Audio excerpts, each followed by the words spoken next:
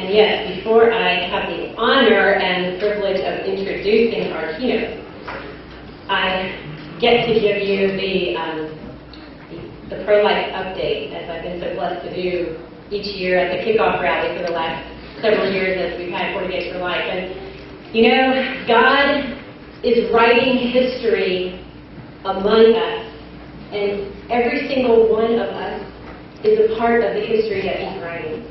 When we look back to the Old Testament and the New Testament, the Word of God, the Bible, is full from start to finish of story after story of God working through His people. And here we are 2,000 years after the resurrection of our Lord Jesus Christ. And we, as Christians, are His hands and His feet. We are His hands and His feet. And He is continuing to write history through each one of us in the mighty, mighty things that He is doing. So I'm just going to do a little bit of a recap for what He has been doing here in Dallas, Texas, through 40 Days for Life, with kind of some significant dates, including tonight's date. First, going back, 40 Days for Life, as we all know, began in Bryan College Station, where our keynote speaker tonight is from. Began in the fall of 2004. They thought they were only going to do it one time and one time only.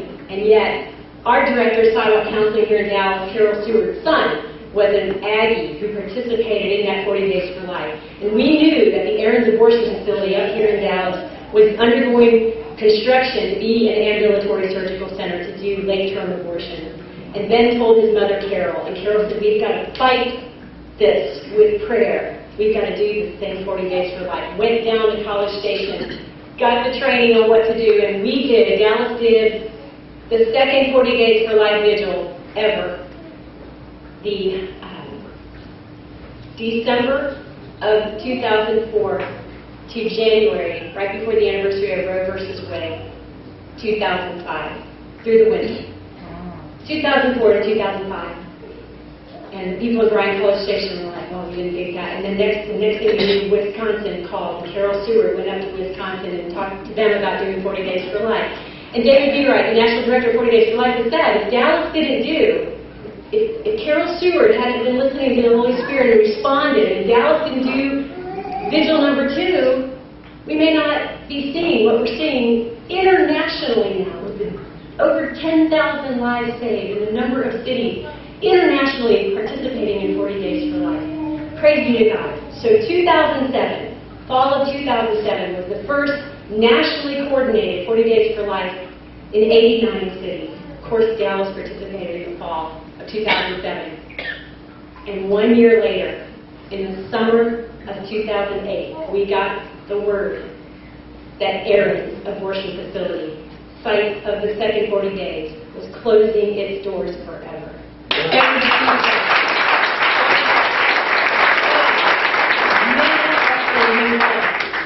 Between 2008 and 2009, we found out that Aaron abortion facility where so much innocent life had been lost had been leveled to the ground. Leveled to the ground. Still, you drive by an LBJ, you will see it all overgrown. It's trees, leveled to the ground. And on Tuesday night, September 22nd, 2009, six years ago, we decided that we would be holding the 40 Days for Life 24-7 vigil at Robinson. Get that name? Robinson Abortion Facility. Birth Choice of Dallas had just opened its doors, brand new. Pregnancy Resource Center directly, diagonally across the street from Robinson's abortion facility. September 22nd, 2009, at the kickoff rally in the parking lot of the Birth Choice, looking across the street at Robinson, our keynote speaker that night was Father Paul Weinberger. And he had a message. He had a profound message for us that night because Aaron had closed. And we had gotten the news that had been leveled to the ground. And it was on the vigil of the feast of St. Padre Pio. Tomorrow is the feast, September 23rd, of St. Padre Pio. And Father Weinberger told us the story And I had never heard it before. Never heard it before. Padre Pio, for those who don't know, is one of our many in the cloud of witnesses who received the stigmata of the Lord. Okay? Proven. He had the wounds of Christ. Five. And Father Weinberger taught us and told us. And it was scientifically documented by videotaped scientists and doctors that in the last days of Padre Pio's life, as he was dying, the doctors and scientists documented that his stigmata began to dry up. The bleeding was beginning to stop to the point where when Padre Pio died, there was not a trace of that bloodshed. Not only had all of the wounds closed, but they were healed. There was not even a scar, not a trace. And Father Weinberger told us, just as this happened with St. Padre Pio, just as we have now seen the first abortion facility since the 40 Days for Life Vigil was held, closed, the bleeding stopped at Aaron's abortion facility, closed, level to the ground without a trace. Let us pray as we go into this 40 Days for Life and look across the street at this place. This 40 days ending on November 1st. Let us pray that at the end of this 40 days, it's just, you know. Said, let us pray at the end of this 40 days, that facility will close and it too will be leveled to the ground without a trace. It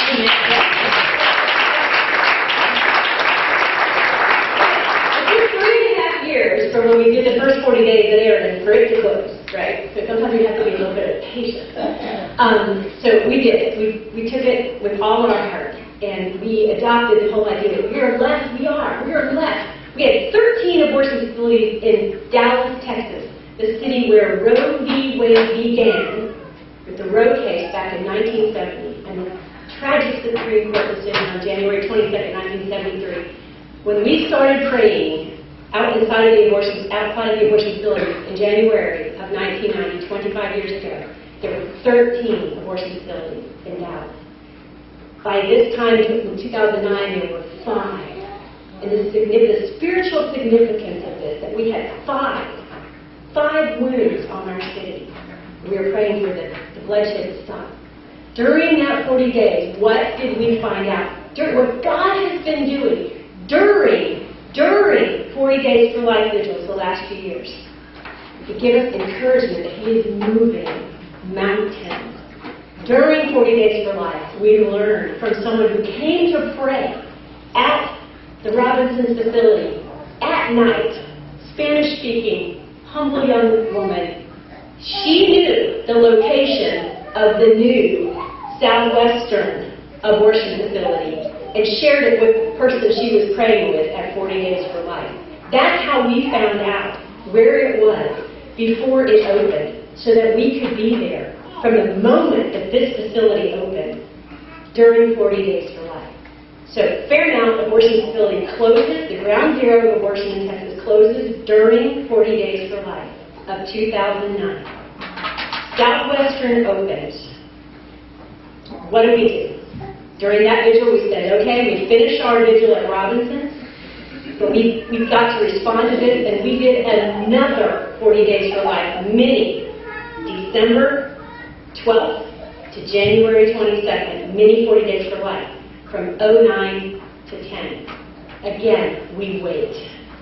We pray. We're faithful. We're all doing the work that God has called us to do. What does God do?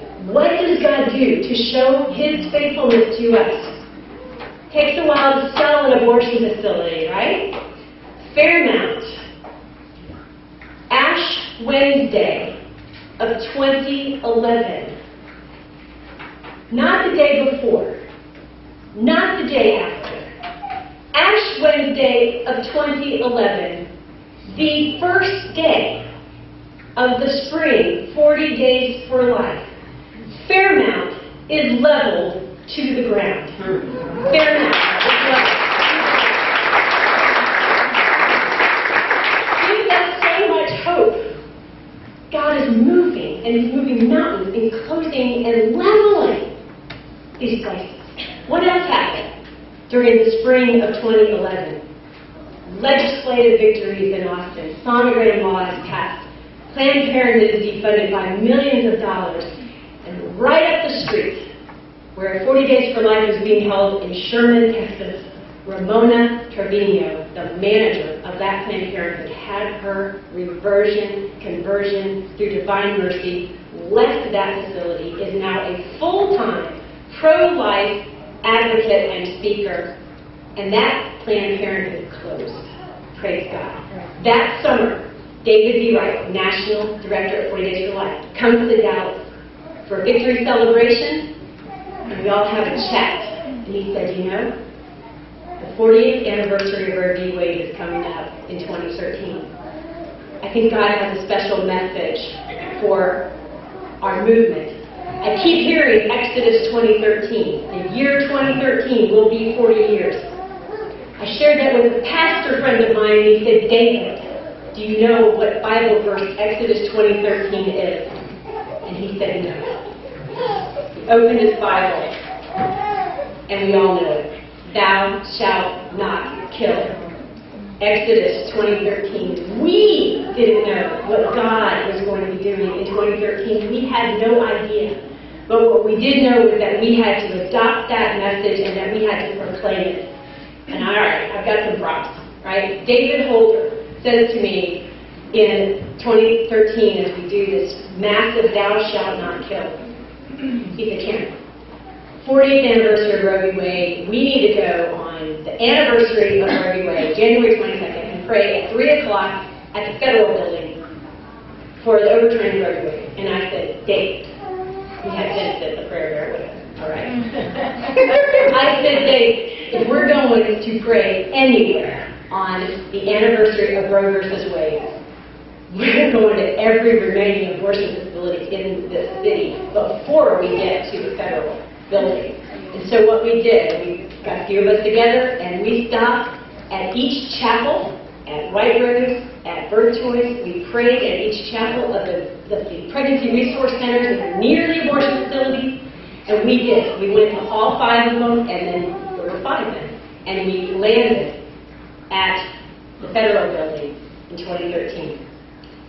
What? We all know. We all know what happened. The epic, epic, unforeseen, unprecedented battle for life between the culture of death and the culture of life in the capital in Austin in the summer of 2013 when the amazing, incredible HB2 was passed. Praise be to God. What happened after that? Once again, during, during 40 Days for Life, right near the very end, October 31st, 2013, was when we got the first wave of victory from that HB2. When we got the word that night that the Fifth Circuit had ruled that the hospital privileges provision of HB2 would go into effect. October 31st. November 1st, 2013, abortion facilities across the state of Texas do not kill children. Hands that have been shedding innocent blood including here in Dallas. North Park was the first one to go. We are down, down since 2013. Back in 2011, there were 41 abortion facilities in the state of Texas. Today, because of the 2011 legislation, the 2013 legislation, even with the roller coaster of the courts, today, 19 abortion facilities left in the state of Texas.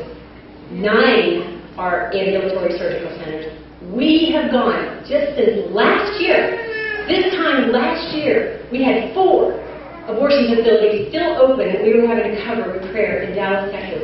One year later, praise be to God, two. We're down to two. We've gone from 13 in 1990 down to two. From last year, four.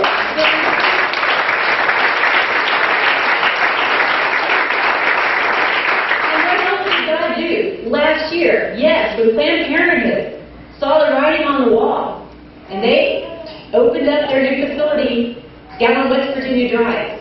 This time last year, think, tomorrow, September 23rd, a year ago, David Bereit was back in town. We had an historic opportunity to meet, meet with Dr. Tony Evans, pastor of Oak Cliff Bible Fellowship. Chris Wheel is here tonight. The, the networking that has gone on, the coming together of the pro-life community, especially at the new On West Virginia Drive, is unprecedented in our city. Sean Martin is here from Online for Life. The networking that all of us are doing together to end this tragedy, to build a culture of life. Jonathan Pitts out there every day. The, prayer presence at the Planned Parenthood down on West Virginia Drive is constant since we held the 40 Days for Life there last year. So we met Dr. Tony Evans. Tony Evans is going to be speaking at the North Texas March for Life rally the very first time this year on January 16, 2015, The body of Christ comes together to combat this great evil. What else did God do during 40 Days for Life last year? So we can only anticipate, right, that He's going to do great things during 40 Days for Life this year. Last year, October 2nd, we get a ruling from the Fifth Circuit Court of Appeals in the midst of storms, crazy, crazy storms, power outages everywhere. We get the ruling, within minutes of the ruling breaking news, we also have a rainbow. He's given it to us, showing us his faithfulness. That the Fifth Circuit upheld the ambulatory surgical center provision. Okay, yes, it's going through the court. As never before, we have to pray during this 40 days for life that that case makes its way to the Supreme Court. Amen. That yes, he gave us that victory. He gave us that hope. He gave us that rainbow. And the other thing that he did last year, amidst lives being saved, moms being helped, people being healed, all the work that's going on all the time, but during 40 days for life, where there's so much prayer that's dedicated and focused and so much sacrificing going on, yes, God arranged last year, near the end of 40 days for life, on October 30th, God arranged for our director of Solid Counseling, Joanne Underwood, myself, and who? Father Paul Weinberger, to meet in person, meet, shake hands with, look in the eyes of, and tell him we were praying for him. Yes, Lamar Robinson, abortionist at Robinson's abortion facility. Let him know, gave him a copy of Dr. Bernard Nathanson's biography, The Hand of God, a converted abortionist. That happened during 40 Days of Life last year. Robinson's has since closed. He tried to go and open, you know, reopen in Norfolk. Lost his privileges. He is done. He is done. What did God do? What did God do? He moved out on November 25th. And you just don't know, you know, God's timing. But remember what day Fairmount was leveled to the ground? First day of 40 Days for Life, Ash Wednesday, 2011. God waits, not the day before, and not the day after, or two days before, or two days after, or a week later. God waits for Robinson's abortion facility to be leveled to the ground without a trace on January 17, 2015, while the body of Christ is marching for life on the road to victory in downtown Dallas. The day, while we're marching for victory, Robinson is being leveled to the ground. Do you guys get that?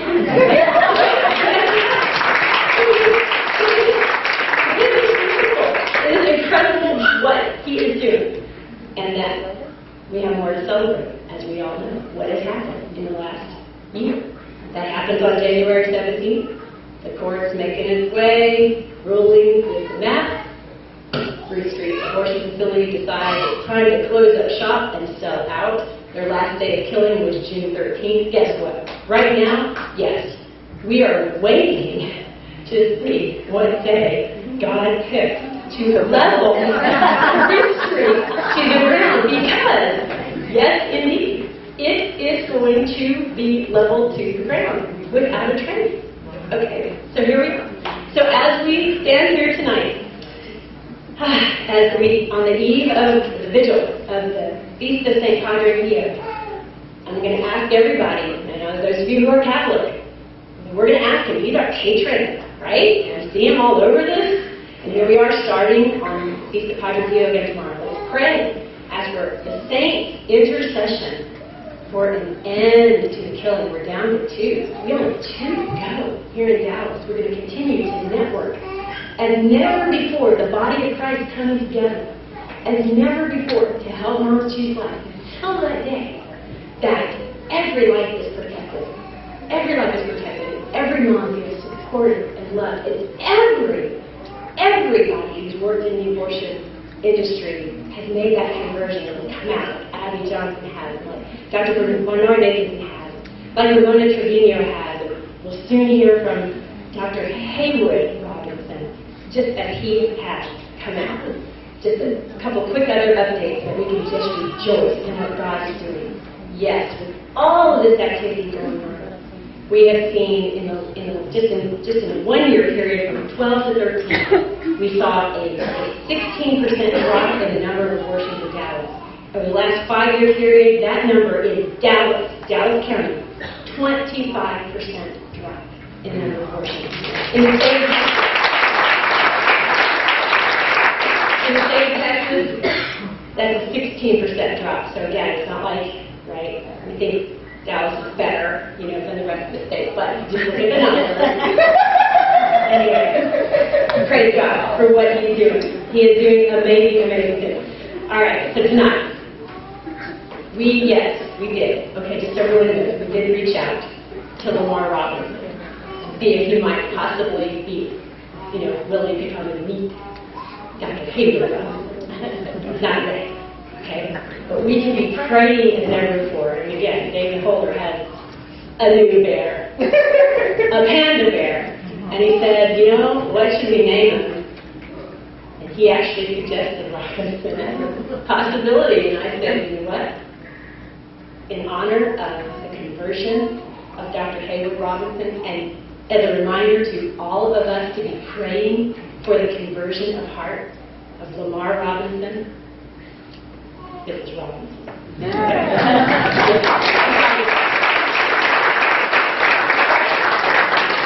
Before I introduce Dr. Haywood Robinson, one more amazing thing about today. Ah, because God writes, He writes, this is true. Today is the birthday of Dr. Haywood Robinson. And so, after his keynote tonight, we will celebrate his birthday, his birthday, before we head into 40 days fasting. and yes, we, for those who can join us to kick off hour number one from midnight to one, please do come join us. Um, as we head into these 40 days, just to just pray, fast, offer sacrifices, be there. Power of your prayers God uses to save lives, to close abortion facilities, to level them to the ground without a trace, so that all the bleeding will come to a stop. Wear blue, right? Color of life. But today is also another very important person in the pro-life movement birthday. Is it a coincidence? I don't think so. Dr. Robinson is here. It's his birthday. Today is the birthday of Norma McCorvey, the Jane Roe of Roe vs. Wade. Right? The Jane Roe of Roe vs. Wade. Started here in Dallas, started in Dallas, ended in Dallas. Norma worked in the abortion industry. She came out. She's fully converted. She's dedicated her life to the overturning of this case. And so tonight, yes, we will celebrate Dr. Robinson's birthday. We will celebrate Norma's birthday. We will celebrate victory. The victory that Jesus has already won and that we will soon realize and we will see it. We will see it in our lifetime. Amen? Amen. Amen. God is on the move. He is on the move, and He's calling all of us to just continue walking with Him and doing open to promptings of the Holy Spirit to do exactly what He's asking you to do. Each one of us, each one of us has a role to play. We're all members of the body of Christ, and we all have a part to play. And so I applaud you for all that you have done and will continue to do, especially as we see each other on the sidewalk during these next 40 days, and until, until that day that we see it. With all the exposure and impairment going on, the summer the videos and everything else. I mean, God is on the move never before. Prager. Okay, so now to introduce to you Dr. Haywood Robinson. We're so excited to hear your message tonight.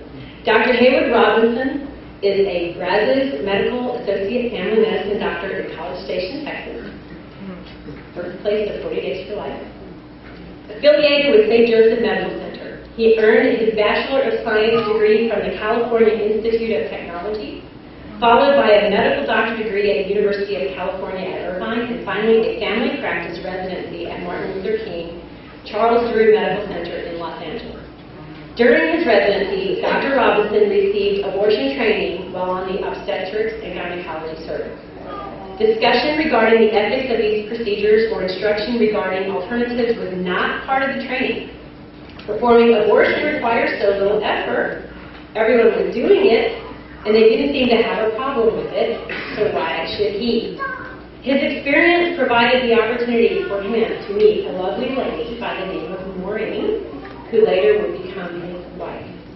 As their relationship progressed, moonlighting together in abortion clinics was commonplace. Money became a mutual motivator, especially since the pay was substantial and it was quite evident how their abortion training could be profitable. Shortly after marriage and completing their residency program, Dr. Robinson and his wife Noreen came to the saving knowledge of and were soon convicted by God's word, which exposed the living lie they led as hired killers of preborn children.